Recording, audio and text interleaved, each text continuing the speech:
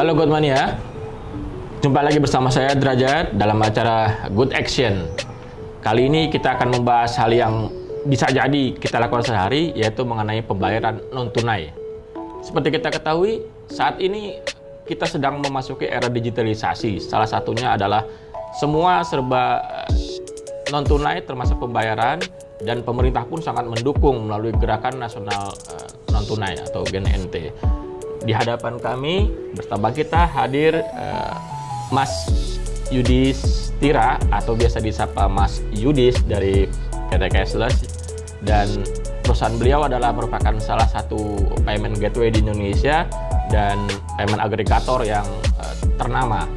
Barangkali nanti Mas Yudis bisa menceritakan tentang eh, industri payment secara umum maupun strategi cashless sendiri dalam meningkatkan penetrasi pasar. Karena dibandingkan dengan negara lain, sebenarnya Indonesia agak-agak tertinggal, tapi nggak apa-apa lah.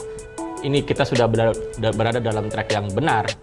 Oke, selamat pagi, pagi Mas Yudis. Pagi, Mas Ajat. Mungkin Mas Yudis bisa menceritakan dari sisi pemain atau pelaku industri sendiri tentang uh, industri pembayaran non tunai di Indonesia secara umum seperti apa? Lalu uh, bagaimana strategi cashless untuk uh, menggrab atau meningkatkan penetrasi pasar uh, non tunai sendiri di Indonesia dalam sistem pembayaran? Oke, okay, uh, sebenarnya kalau dari sisi para pemain payment gateway di Indonesia itu sudah sangat banyak ya. Itu sudah mungkin dari tahun 2005 sudah banyak pemain payment gateway, tapi semuanya bicaranya di sisi online atau e-commerce. Nah, kita mencoba cashless ini sebagai salah satu pemain gateway yang kita face to face. Jadi kita bertemu dengan kliennya, kita eh, apa namanya bertatap muka dan kita memberikan solusi kepada para pelaku usaha. Jadi kalau bicara saat ini yang bermain ini ya cukup banyak, tapi yang fokus untuk sebagai agregator adalah saat ini kita dengan acquiring bank dan uh, e-wallet seperti itu. Kemudian tadi kalau bicara dari sisi uh, strateginya kita, pertama kita ada beberapa strategi yang yang sudah diterapkan oleh sisi perusahaan gitu kan uh, dari dari mulai kita bicaranya sebenarnya dari end to end end to end uh, penetrasi. Dari mulai tim eksekutor di lapangan uh, apa namanya itu yang dilakukan oleh teman-teman sales dari sisi canvassing sampai di sisi retention. Semuanya itu ter, terangkum dalam satu entity bisnis strateginya kita. Gitu maksudnya kurang lebih. Okay uh, seperti saya katakan di awal tadi, ini kan suatu yang relatif baru ya. Hmm. Cashless sendiri beroperasi tahun 2016 mas ya? Yes, 2000, 2015 berdiri, 2016 ya? mulai ya. Oke, okay. artinya di bawah masih di bawah lima tahun lah. Iya, lima tahun. Bayi lah, baru. Bayi baru. Tapi uh, di sisi lain juga masyarakat ini mulai dalam bahasa sehari mulai ngeh lah ya yeah. bahwa pentingnya atau efisiennya transaksi non tunai uh, non tunai hmm. gitu ya. Nah di di di hadapan itu dalam kondisi demikian uh, artinya kan ada perlu ada edukasi dan sosialisasi Betul. dari pelaku industri sendiri. Ya. Nah, bagaimana Mas Yudis memandang hal tersebut? Ya, uh, kita ngeliatnya gini, sebenarnya kita juga uh, mungkin kita datang saat yang tepat, walaupun bisa dibilang juga tidak terlambat, gitu kan, tidak terlambat. Maksudnya uh, seperti tadi saya sampaikan di depan bahwa ini sudah berjalan, ini payment gateway.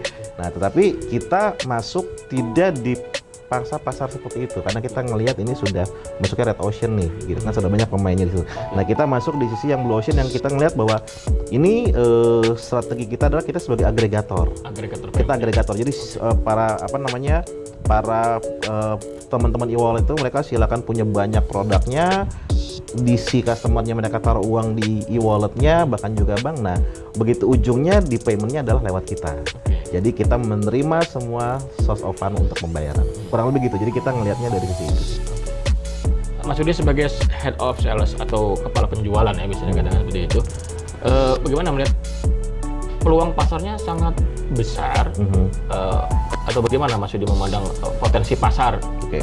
di Indonesia sendiri? Kalau kita lihat dari sisi country dulu nih, kalau bicara country, penetrasi non tunai Indonesia itu baru sekitar kurang lebih sekitar 30 persenan. Yeah. Di compare dengan negara paling tertinggi adalah Korea, dia 90 persen. Korea 90 persen? gitu kan. Biasa, ya. Even Amerika, which is sekarang mungkin sekitar 60-70 persen. Dia di Indonesia, Indonesia, Malaysia kurang lebih beda beda-beda tipis lah kurang lebih seperti itu. Nah, dari situ kita ngelihat dari itu dari sisi apa namanya dari sisi negara. Begitu kita masuk ke country kita masih banyak segmen-segmen industri yang belum ketat gitu untuk sisi payment gateway ini.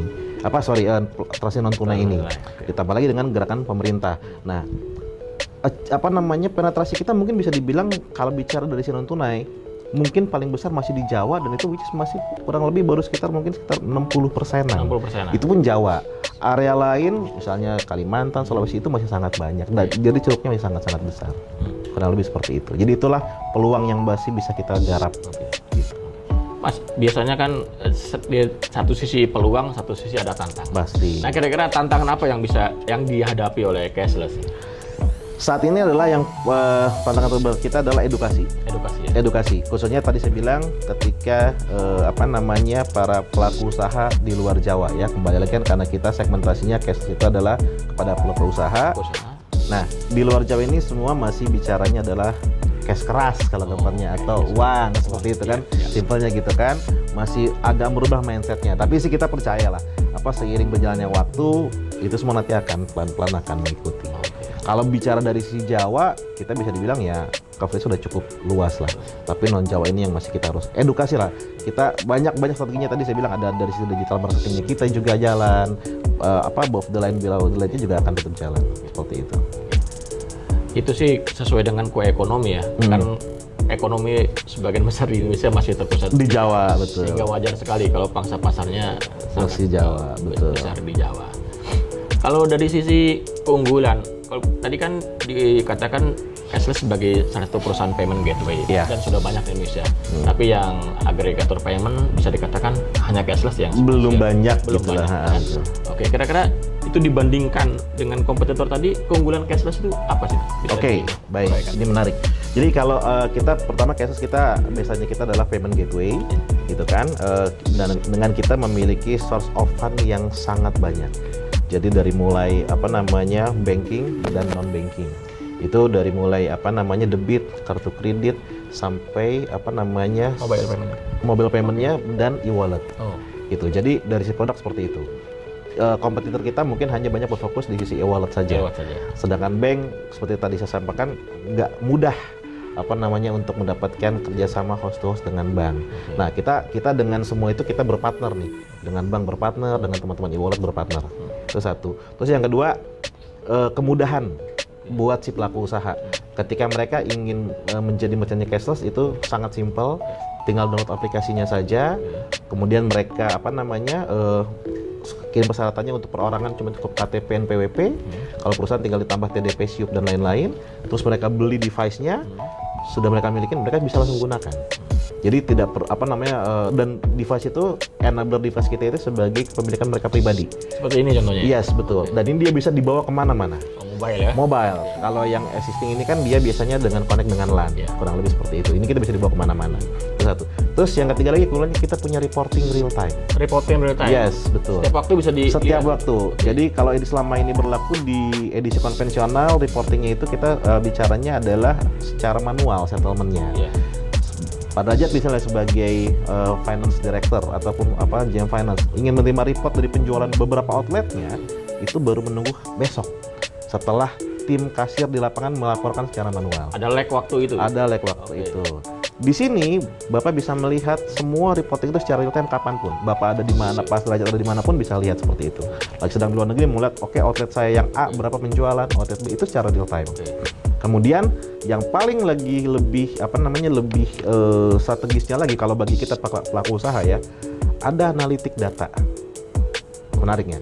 Jadi misalnya gini, Apa itu? Nah, jelaskan. outlet A ini misalnya misalnya contoh pada derajat eh, ju- buka kafe Oke. gitu ya buka kafe pasti jualannya macam-macam nih ada cappuccino, macchiato dan lain-lain di outlet A di outlet B, outlet B dan lainnya juga pasti sama. Nah di situ Pak Derajat bisa ngeliat oke di outlet A yang paling laku nyata capu- cappuccino nih Oh, produknya. produknya Nah, itu nah kita sebutnya itu sebagai analitik kita bisa si pelaku usaha bisa menganalisa sendiri nih Oh, dengan sisi produk mana yang paling laku. Which is kan berarti kemudahan buat Iya. si pelaku usaha, efisiensi dari sisi biayanya. Jadi mereka nggak perlu oke, biasanya selama ini disebar sama, ya kan? Ada 10 outlet semuanya sama, tapi ternyata oh ini kok ini nggak jalan. Nah, biasanya baru ketahuan ketika apa nih akhir bulan Iya, gitu kan atau setelah certain time tertentu baru bisa kelihatan. Tapi kalau ini kita semua bisa lihat real time nih. Kurang lebih seperti itu. Itulah apa salah satu keunggulan kita yang yang bagi kita selama ini makanya juga malah banyak sekarang merchant datang ke kita untuk kerjasama dengan cashless. Jadi Itu merchant sudah percaya sama cashless karena keunggulan-keunggulan tersebut bisa dikatakan seperti Iya betul seperti itu. Jadi karena pertama bagi mereka adalah kemudahan. Satu kemudahan dari sisi kemudahan, kemudian eh, dari sisi real time reportingnya gitu. Dan satu lagi paling penting adalah mereka menghemat biaya. Itu sih. Gitu Mas Derajat. Jadi menarik ya, selain memberikan data analitik, itu juga bisa membantu keputusan bisnis ya. Yes betul. Karena kan sebagai perusahaan sekarang perubahannya sangat cepat, Sangat dinamikanya betul. sangat tinggi, betul, sehingga betul. dibutuhkan laporan-laporan yang real di lapangan Iya. secara digitalized Iya. dalam suatu Aplikasi, iya, gitu ya, betul, betul. pintar atau smartphone, Mhm. sehingga bisa langsung mengubah keputusan. Yes.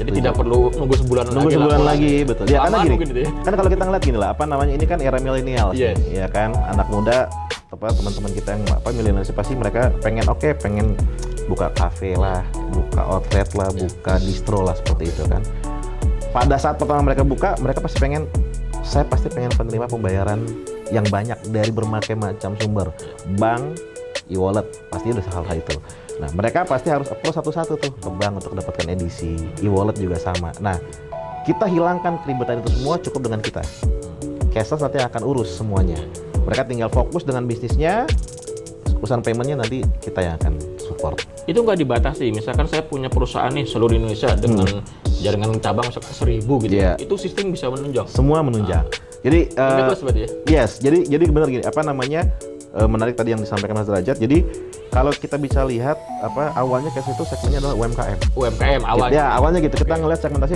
pelaku usaha UMKM dan milenials gitu kan. Tapi seiring berkembangnya waktu udah banyak enterprise yang bergabung dengan kita yang mereka punya coverage-nya itu nasional Oh gitu. gitu. Karena bagi mereka juga sama apa namanya buat eh, reporting real time bagi mereka penting dan menghemat dari sisi biaya cost. Itu dia. Cost-nya. ada ini ya perluasan pasar gitu ya. Tadi Iya. di SME. M- SME tapi dan ternyata enterprise, juga, betul tertarik. seperti itu Karena mungkin keunggulan-keunggulan tadi yang Iya, dimiliki oleh cashless bisa dikatakan seperti kurang itu lebih ya. seperti itu Oke. Nah, Mas, bagaimana dengan kinerja atau achievement saat ini dari cashless sendiri? Misalkan dari sisi penjualan, Oke. dari sisi klien dan sebagainya. Oke, alhamdulillah ya apa namanya kita eh, berdiri 2015, kemudian 2016 kita mulai terregister, operasional kita benar-benar apa namanya baru mulai fight di 2017 2018 lah. Efektif ya. efektifnya gitu kan. Nah, Oke. kalau bicara dari sisi dari sisi apa namanya penjualan gitu kan, di semester satu tahun ini kita sudah apa namanya eh, mengakuisisi dari sisi merchantnya itu dua kali lipat dibanding tahun lalu. Eh, growth-nya ya. Growth-nya 200% berarti ya. eh, 200% betul. Kemudian dari sisi eh, kita ada sebutnya GTV, GTV. Global Transaction Value. Oke. Nah, itu sudah 150%. Oke. Dan eh, apa namanya pencapaian dari sisi transaksi itu sudah naiknya 200%. Jadi bisa dibilang tahun ini kita sudah apa namanya di strengthen tahun ini kita benar-benar sudah mendapatkan eh, pencapaian yang cukup besar dibandingkan tahun sebelumnya. Sudah over target atau gimana itu? Alhamdulillah sudah. Sudah over target. Tapi tapi eh, tetaplah kita maksudnya gini kita ngelihat bahwa ke depan tuh tetap harus ada lagi improvement-improvement ke depan lagi lah. Seperti itu. Nah, biar pasar tahu atau publik tahu itu apa sih improvement yang akan dilakukan Mas ke depannya itu? Oke, eh ini sedikit rahasia sebenarnya bocoran. Iya. umum aja, umum. umum aja, umum aja. Tapi sebenarnya gini, eh, cases ini kan kita bicara biasanya di payment gateway. Oke. Tapi ke depan tuh kita akan menjadi seba- sebagai perusahaan yang memberikan solusi buat perusahaan. Oke. Oke, jadi nanti kita di situ akan bicara banyak hal, nggak hanya bicara di sisi paymentnya saja, tapi kita akan bicara dari sisi yang lebih luas. Kebutuhan perusahaan apa sih biasanya? Tadi analitik, gitu kan analisis datanya, kemudian sisi produknya. Nah, ke depan itu yang nanti akan makin kita kembangkan. Berarti mainnya di enterprise kalau gitu cocok. Arahnya mungkin sudah akan ke sana, gitu. Karena ya, maksudnya ya kita tidak ya apa? Kita melihat tahun ini kok semakin banyak enterprise malah yang pengen join dengan kita malah wah, tidak menutup kemungkinan. Berarti berarti tinggal kita emphasize aja nih apa namanya eh, produk-produknya, bukan produk solusinya kita. Jadi memang kita akan menjadi perusahaan yang eh, fokus di solution eh, payment atau eh, solusinya lebih kepada buat corporate enterprise. Buat corporate enterprise. Ya, ya. seperti itu. Eh, untuk melangkah atau katakanlah memperluas basis pasar, Mm-mm. persiapan apa yang sudah dilakukan oleh Kes? persiapan persiapan oke ya pertama adalah dari sisi pasti di internal kita people gitu kan kita mengencourage terus teman-teman gitu kan kebetulan teman-teman di kasirnya teman-teman yang luar biasa kita dengan karyawan yang nggak terlalu banyak tapi apa namanya motivasinya luar biasa dan apa ya eh, fast learning gitu kan itu yang paling penting gitu kan dan persisten. Teman-teman ini sangat apa namanya ngiku, eh, ngikutin dinamikanya sangat cepat gitu. Itu satu, itu paling penting teman-teman gitu. Kemudian dari sisi kedua adalah kita bicara mungkin dari sisi pasti produk. Produk ya. Produknya makin akan kita lebih perluas. Kita akan lihat juga mungkin bertahap ya, gitu. Kita akan lihat juga nanti mana nih yang paling bisa membantu eh, apa namanya si pelaku usaha untuk pengembangan bisnisnya. Jadi mungkin mungkin dia akan fokus di bisnisnya saja, gitu kan kita akan berikan solusi seperti itu. Kemudian yang ketiga mungkin dari sisi eh, penetrasinya kita nih. Kita perlu seperti tadi saya bilang di depan, kita masih kuat di Jawa, Oke. tapi area lain nih eh, apa namanya kita harus terus gencar apa namanya informasinya, edukasinya ke pelanggan-pelanggan di luar Jawa. Sekarang sudah berapa kota yang di coverage oleh Cash? Oke, saat ini delapan ya kota besar ya, Jakarta, Bandung, Surabaya, kemudian apa namanya Makassar, Jogja, eh, Medan, gitu seperti itu. Rencana ke depan atau tahun depan? Ada ada beberapa kota lagi akan kita coba kita coba, coba penetrasi, cuman kita masih coba kita lihat dulu gitu karena apa namanya eh, kita mau lihat dulu dari sisi eh, ekonomi mikronya si perusahaan tersebut gitu kan, karena kan segmentasi kita adalah pelaku usaha nih gitu kan kita mau membantu para pelaku usaha di level UMKM nih mana yang kira-kira oke paling banyak pelaku usahanya itu yang bisa kita support kurang lebih seperti itu sih mas Derajat Baik.